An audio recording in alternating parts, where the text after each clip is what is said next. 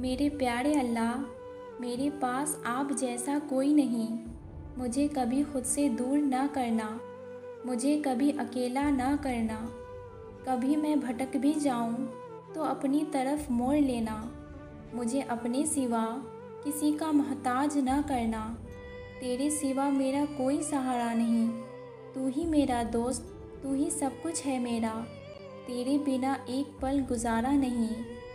तुझसे बात ना करूँ तो सुकून मैसर नहीं आता।